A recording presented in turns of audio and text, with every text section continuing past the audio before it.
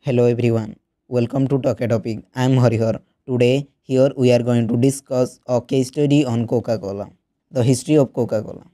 First of all, you should be clear that Coca Cola is not product, but it is a brand.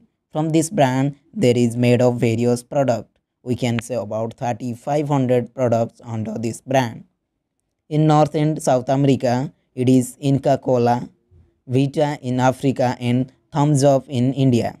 It is world's most valuable brand with 94% of the world's population recognizing the red and white Coca-Cola brand logo. Also, 3.1% of all beverages consumed around the world are Coca-Cola products. It is done because of its great marketing strategy market research and strategy used in the first beginning.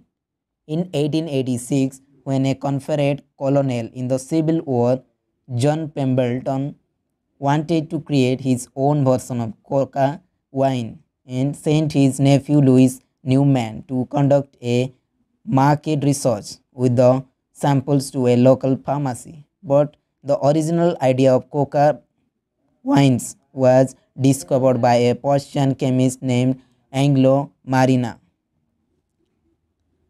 Pemberton's sample was sold for 5 cents a glass and the feedback of the customers collected by nephew.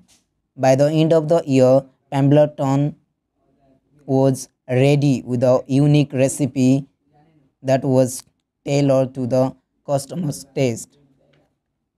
First, it launched brain tonic and temperance drink, claiming that it curbed headaches, anxiety, depression, indigestions, and addition. After that, various group manufacturing plants outside Atlanta were opened, and in 1895, Candler amused about Coca-Cola being drunk in every state and territory in the US for the Coca-Cola marketing strategy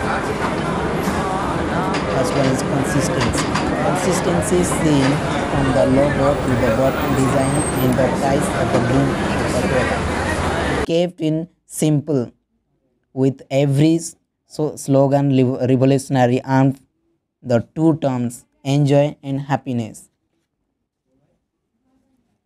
Second one is branding. From the star bottle to the calendars, watches, and other unrelated products, Candler started the trend to make Coca Cola visible everywhere. The company followed the same branding strategy till now. Coca Cola is everywhere, hence, has the world's most renowned logo. Position you know Coca-Cola did not position itself as a product. It was and it is now experience of happiness and joy. Franchise model. Coca-Cola's bottling rights were sold to different local entrepreneurs which is continued till now. Here Coca-Cola is not one giant company. It's a system of many small companies reporting to one giant company